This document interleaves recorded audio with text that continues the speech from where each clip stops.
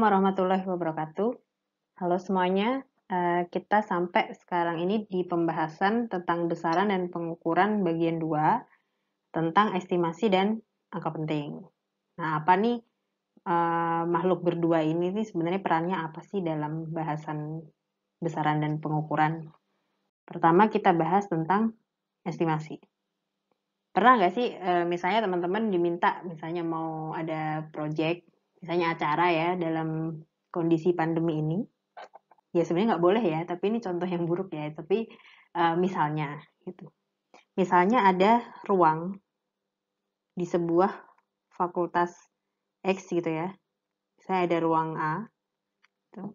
mau diadakan acara dengan menerapkan prinsip uh, physical distancing.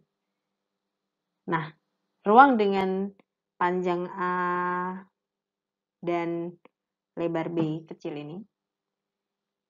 Ini kira-kira kapasitas maksimum dengan menerapkan protokol uh, physical distancing ini berapa? Kan biasanya jawabannya sekitar gitu ya. Sekitar 20 sampai 30-an. Nah, biasanya ada an nih, karena masih estimasi gitu kan. Atau misalnya sebuah seorang expert expert uh, di struktur bangunan misalnya ya.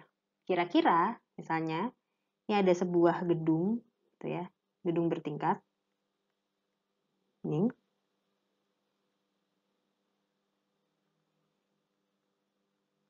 Nah, ini seorang uh, apa namanya expert yang akan membangun gedung ini gitu ditanya gitu dengan desain struktur yang dia beri dan dengan material yang akan dia pakai, itu kira-kira di lantai teratas, kira-kira beban maksimum yang dapat ditampung di lantai teratas ini berapa?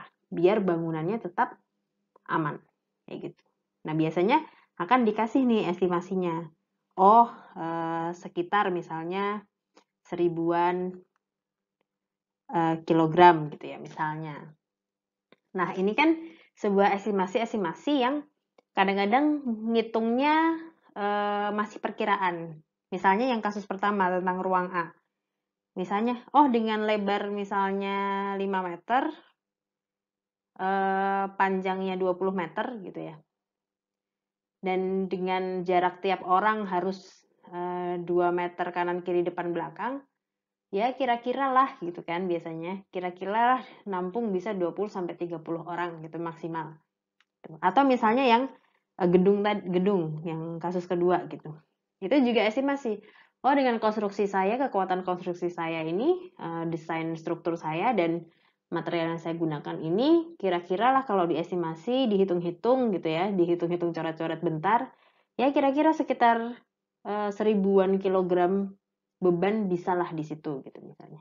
Lalu pertanyaannya, adakah cara um, menyatakan estimasi tapi lebih uh, akurat gitu ya? Atau lebih mendekati? Ini adakah caranya gitu? Estimasi yang lebih mendekati lagi atau perkiraan yang lebih mendekati lagi itu bisa dinyatakan dalam order of magnitude.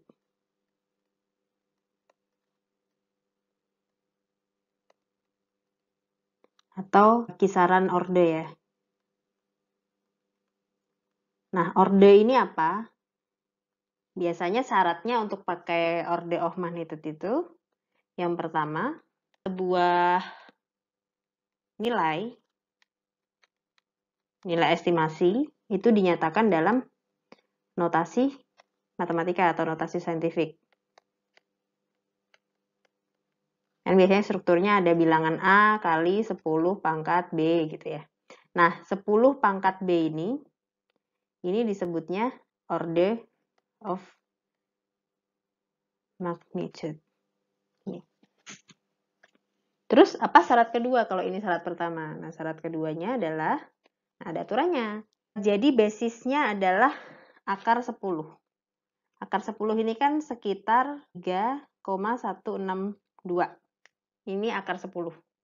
Nah, aturannya adalah yang pertama, kalau A, bilangan A yang di atas ini ya, itu nilainya dia kurang dari 3,162 itu, akar 10 itu, maka dia order of magnitude perkiraan nilainya itu dinyatakannya dalam 10 pangkat B. Emang aslinya pas dinyatakan dalam notasi matematika order magnitude-nya. Tapi kondisi kedua, kalau A ini lebih dari 3,162, maka order of magnitude-nya itu B plus 1. Jadi ditambah ke atasnya. Gitu.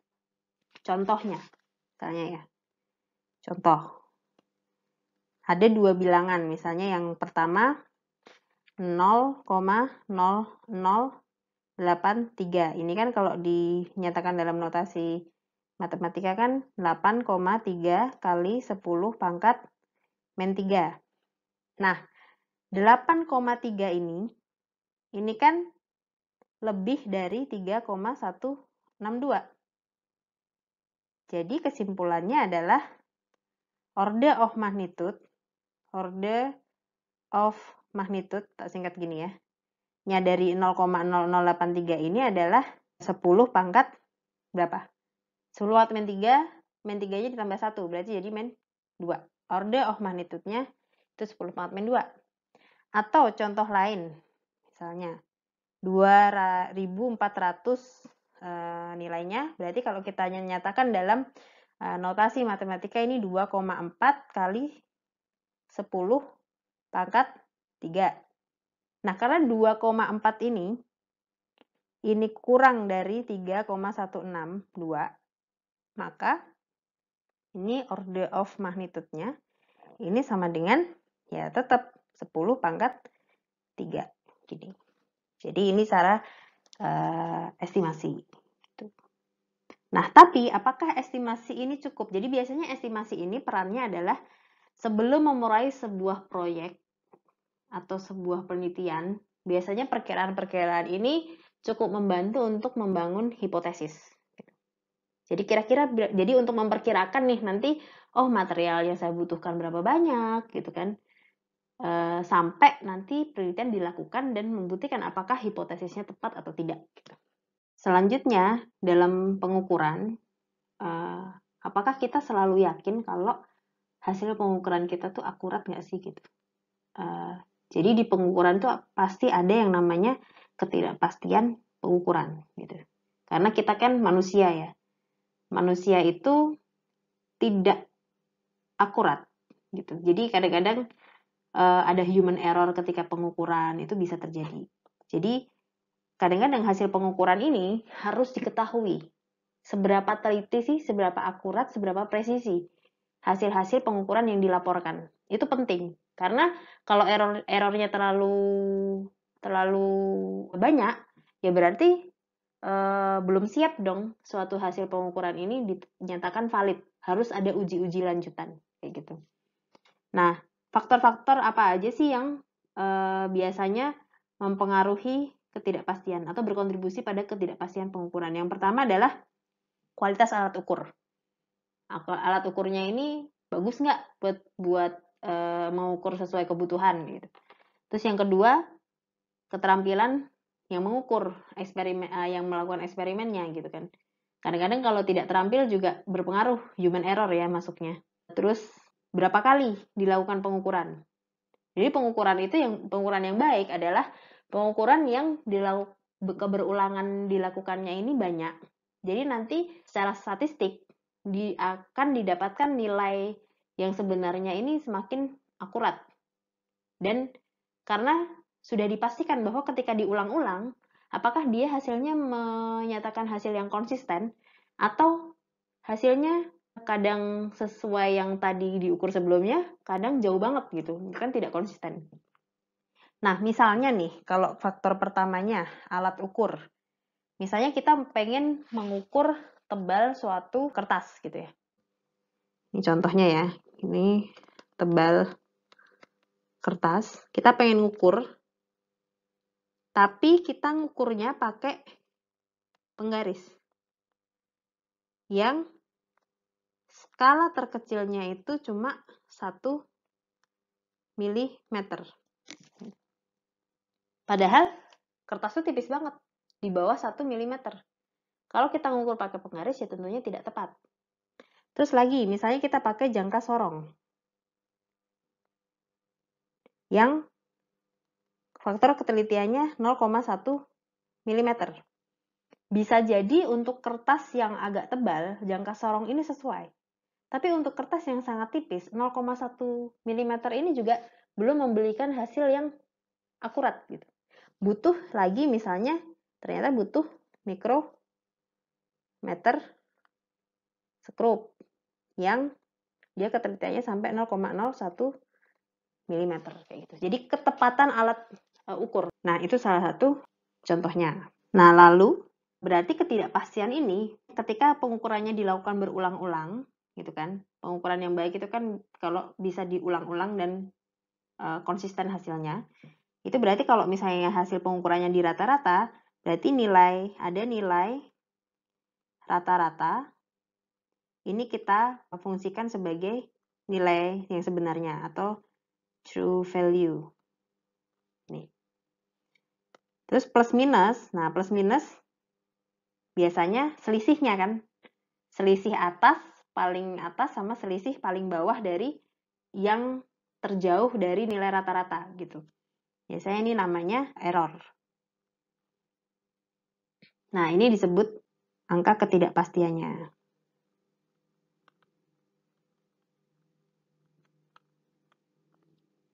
Dan ini menyatakan, semuanya ini menyatakan akurasi. Misalnya gimana? Misalnya kita pengen ngitung panjang meja ya. Panjang meja belajar misalnya. Meja dan setelah diukur ternyata didapatkan hasilnya 100,0 plus minus 0,5 cm. Nah, perhatikan biasanya cara menyampaikannya adalah kalau misalnya errornya ini sampai satu angka di belakang koma, berarti yang angka true value-nya juga sampai satu angka di belakang koma. Gitu. Berarti ini artinya apa? Artinya adalah bahwa panjang meja itu berkisar nilainya antara uh, kurang dari sama dengan 99,5 sampai 100,5 cm. Ini cm juga ya. Cm. Begitu. Atau kadang juga bisa dinyatakan ini itu dalam persen. Misalnya 0 setengah itu adalah 0,5 persennya dari 100. Itu disebut fractal error atau persen error ya. Gitu. Ada dua cara. Dalam nilai yang sebenarnya atau dalam persen. Biasanya yang pakai persen itu kalau errornya resistor. Nah, itu biasanya pakai persen nyatainya. Lalu dalam menyatakan akurasi tadi, misalnya 100,0 kali eh, plus minus 0,5 gitu ya. Kenapa sih kok eh, yang true value-nya harus sampai satu angka di belakang komanya? Nah, ini yang mendasari adanya konsep angka penting dalam pengukuran. Coba kita tulis lagi ya. Tadi misalnya kita dapatkan panjang mejanya 100,0 plus minus 0,5 cm. Dan ini berarti true value-nya ini punya 4 angka penting. Kalau kita mau coba bedah lagi ya, jadi 100,0 ini yang merupakan uh, angka penting itu terdiri dari angka pasti. Ini yang 100 di depan ini kan angka pasti. Angka pasti. Angka yang sudah didapatkan segitu. Sementara angka 0 di belakang koma ini adalah angka yang tak pasti. Angka tak pasti atau angka estimasi. Estimasi pertama. Jadi yang pertama, Kalau misalnya pengukurannya ternyata ada dua angka estimasi, berarti yang dipakai ya yang paling depan aja gitu. Karena yang belakang udah nggak nggak penting lagi gitu, karena sudah terkalahkan sama yang depannya. Kalau depan depannya, misalnya angka estimasinya itu 25. Nah, apa artinya yang satuan di belakang 5 itu kalau dalam skala puluhan aja dia sudah tidak pasti gitu kan. Jadi yang diambil adalah angka estimasi pertama. Nah, angka tak pasti atau angka estimasi ini yang akan berubah ketika dia dijumlahkan atau dikurangkan dengan uh, errornya, dengan errornya di sini.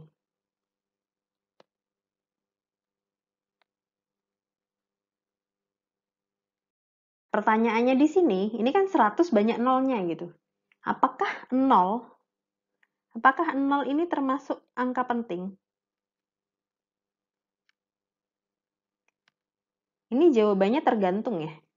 Jadi, tergantung gimana kondisinya. Gimana situasinya. Nah, coba kita cek contoh-contohnya.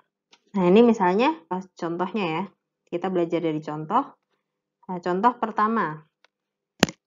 Misalnya ada angka 0,02 dan 0,00 yang tadi kita pakai 83 gitu kan. Apakah 0 di sini di depan uh, apa namanya? Uh, angka 2 dan angka 85 ini termasuk angka penting? Jawabannya tidak ya. Ini bukan angka penting karena tidak mengindikasikan apa-apa di situ. Kalaupun dihilangkan, dan diganti dengan notasi matematika, ya itu tidak tidak berpengaruh gitu. Kayak gitu. Apakah dia masuk angka tidak pasti? Angka tidak pasti itu pasti di belakang, nggak di depan gitu kan. Jadi kalau ada kasus uh, eh, 0 di depan koma dan uh, eh, 0 di belakang koma, di antara koma sama angka yang tidak nol, itu dia bukan angka penting. Ya kondisinya seperti itulah. Nah, selanjutnya contoh kedua. Misalnya contoh kedua ini kita punya ada masa ditulisnya 100 eh, 1800 gram. Nah, 0 di sini ini sedikit ambigu nih. Ambigu. Kenapa ambigu? Yang pertama, uh, apakah dia digunakan sebagai uh, apa namanya poin desimal? Apakah dia nantinya akan digunakan sebagai poin desimal? Atau dia ini merepresentasikan angka penting. Artinya dia masuk di angka estimasi pertama yang terakhir ini. Ini nggak jelas. Maka untuk kasus-kasus e, seperti ini paling enak itu dikonvert dulu ke notasi matematika. Itu. Misalnya yang 1800 dulu ya, yang contoh kedua dulu. 1800 gram, ini kalau kita konvertkan jadi 1,8 kali 10 pangkat 3 gram. Ini baru ketahuan kalau kita butuhnya dua angka penting, saya singkat AP ya. Dua angka penting. Kalau 8-nya ini, dia masuk ke angka estimasi pertama kalau dijumlahkan dengan errornya. Atau kalau misalnya ternyata errornya itu tiga angka di belakang koma, berarti ya nulisnya harus gini, 180 kali 10 pangkat 3 gram. Artinya di sini kalau sampai ditulis, ini dua angka penting, eh tiga angka penting. Gitu. Atau bahkan kalau misalnya ternyata errornya itu empat angka di belakang apa tiga angka di belakang koma gitu. Jadi misalnya kasusnya adalah dia 1,800 sampai ditulis begini ya, kali 10 pangkat 3 gram.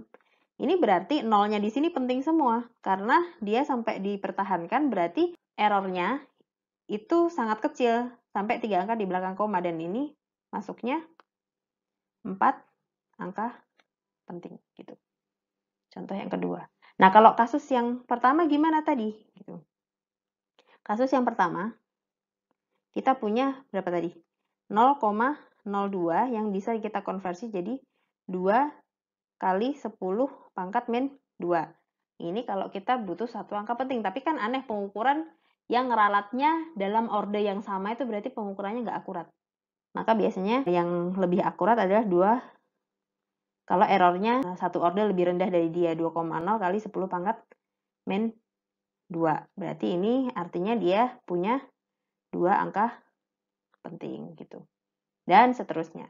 Nah, pertanyaan selanjutnya adalah kadang-kadang kita dalam menyelesaikan suatu permasalahan atau menjalankan suatu eksperimen itu butuh mengoperasikan hasil-hasil pengukuran dengan angka pentingnya masing-masing ini itu menjadi suatu hasil akhir gitu kan.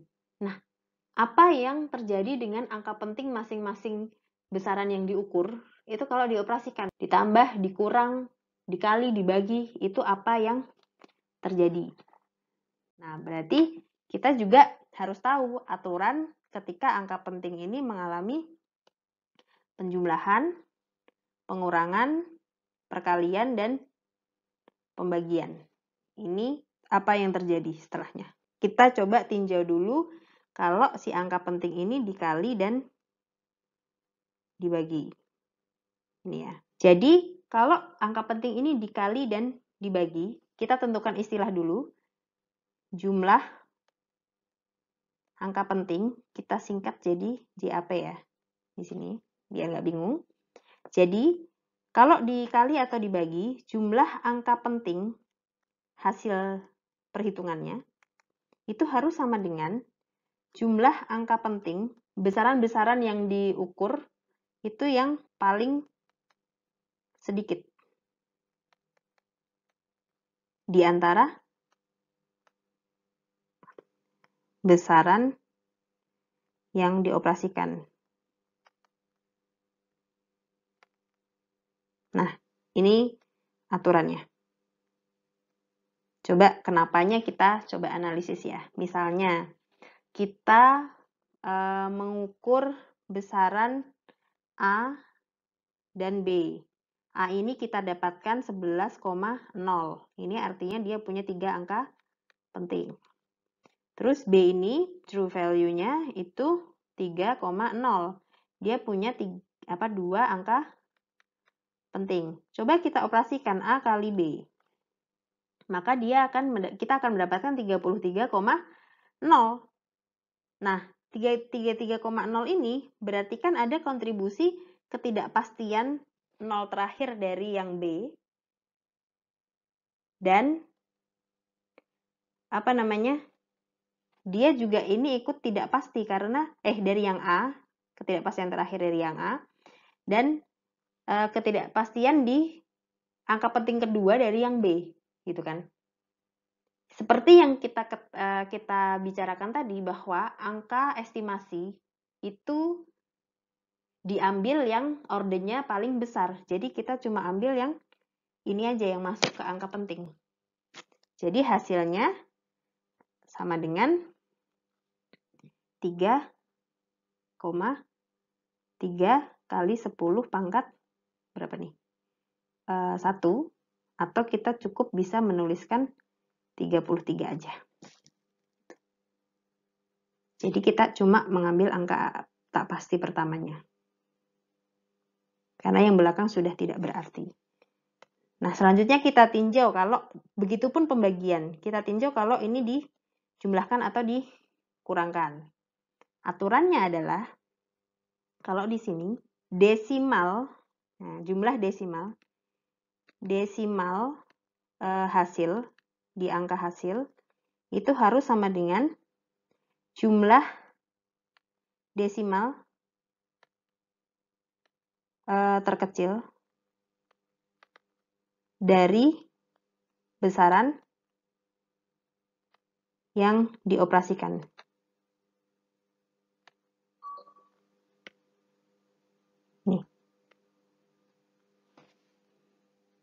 Misalnya nih, kita cont eh, lihat contohnya lagi ya. Ada X. Ini tak kasih di sini X. Ini 24,2. Ini kan satu desimal di belakang koma. Yang Y, ini misalnya 15,34. Ini dua desimal di belakang koma. Ketika dijumlahkan, dia akan jadi berapa nih? 4, 5, terus 9, ini 3. Nah, ini kan ada 4, ada 2 desimal nih. Sama kayak tadi, kalau desimal ini punya angka tidak pasti 2, pasti yang diambil adalah jumlah desimal yang paling sedikit gitu. Jadi ini yang uh, sesuai adalah 39,5. Ini jawabannya. Nah, karena ada konsep uh, pengurangan jumlah angka penting ketika dioperasikan seperti ini, maka ada yang namanya konsep pembulatan. Nah, aturan pembulatan ini bagaimana? Coba kita cek. Tentang pembulatan ini, uh, ini juga ada kaidah-kaidahnya. Tentang pembulatan angka ya. Kaidahnya apa? Biasanya kan kalau tadi ya kita dapat hasil perhitungan eh, 3 5,47 misalnya. Berarti ini kan harus dibulatkan ke desimal terakhir kalau ini penjumlahan dan pengurangan ya. Berarti ininya ini harus dihilangkan, tapi harus dibulatkan.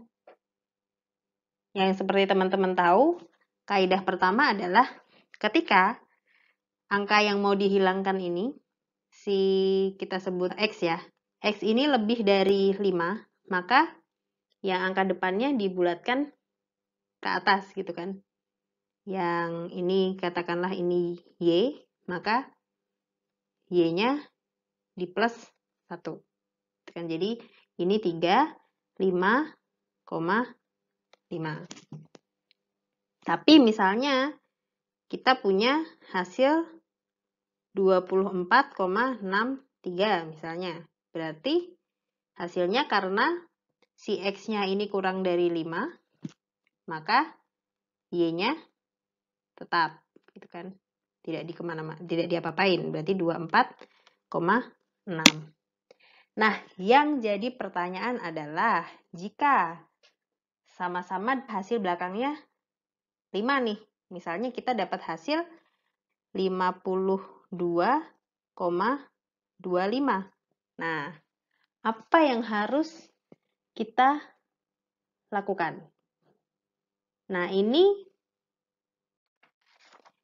harus kita bulatkan ke angka genap terdekat Y-nya. Jadi, kalau untuk kasus yang atas ini begini ya.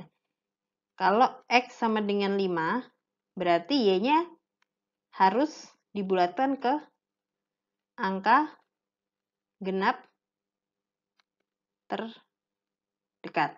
Ini. Nah, dalam kasus ini, angka genap terdekat adalah ya dua gitu kan. Belum nyampe ke, eh, kalau ke atasnya lagi berarti tiga dong. Jadi angka ganjil dong. Berarti ini jadinya 52,2. Tapi kalau sebaliknya kita misalnya punya hasil 52,35 gini. Nah, karena angka genap terdekatnya adalah 4, gitu kan. Ya, maka 52,4 tiganya dibulatkan ke atas. Ini kenapa sih kok uh, aturannya begini? Karena nanti ketika hasil ini mengalami proses aritmatik yang panjang, proses perhitungan yang panjang, itu kalau misalnya dibulatkan ke negatif, itu biasanya akan terjadi akumulasi error. Jadi errornya semakin besar gitu. Jadi aturan ini diberlakukan karena itu. Nah, bahasan ini mengakhiri bahasan kita tentang e, besaran dan pengukuran. Kalau kita mau simpulkan bahwa fisika ini merupakan salah satu cabang sains dan dia dibangun dari eksperimen yang membutuhkan pengukuran dan pengukuran ini harus dipastikan ya valid, akurat dan persamaan yang dimodelkan untuk memodelkan sebuah sistem atau fenomena fisik ini juga harus uh, tervalidasi dan bisa diulang oleh siapa pun yang mencoba mengulang eksperimennya dengan keadaan yang sama. Untuk itulah diperlakukan kaidah-kaidah uh, apa namanya pengukuran, penentuan ketidakpastian sampai bagaimana kita menentukan angka penting pengukurannya, angka yang masih kita anggap akurat dan mana angka yang errornya gitu, yang menyumbang ketidakpastian. Mungkin itu saja bahasan kita tentang besaran fisika dan pengukurannya. Wassalamualaikum warahmatullahi wabarakatuh.